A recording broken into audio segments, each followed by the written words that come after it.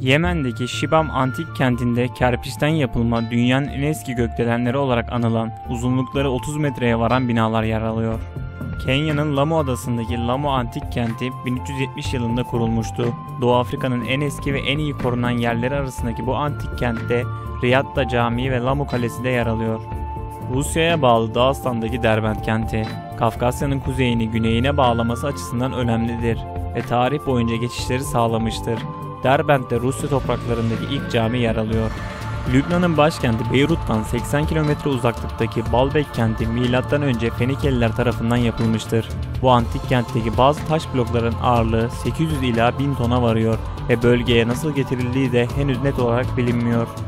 Mali'deki Timbuktu kenti 12. yüzyılda Tuaregler tarafından bir kervan ticareti alanı olarak kurulmuştu. Şövalyeler Kalesi adıyla bilinen Suriye'nin Humus kentinden 65 kilometre uzaklıktaki bu Haçlı Kalesi dünyanın günümüze kadar korunmuş en önemli kalelerinden biri. 11. yüzyılda Kürtlerin yerleştiği kale daha sonra Kürtlerin kalesi anlamına gelen Hisni el Ekrat adıyla anılmaya başlandı. Burkina Faso'nun güneyinde yer alan Loropene antik kasabasının 11. yüzyılda Lohron ve Kulango halkları tarafından kurulmuş olabileceği düşünülüyor.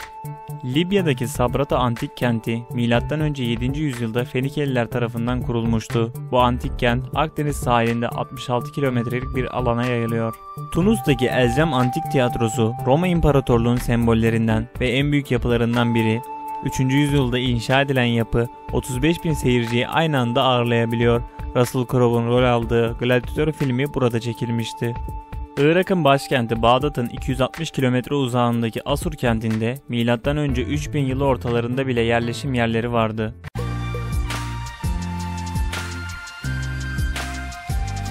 Videomu izlediğiniz için teşekkür ederim arkadaşlar. Beğenip abone olmayı unutmayın. Hoşçakalın.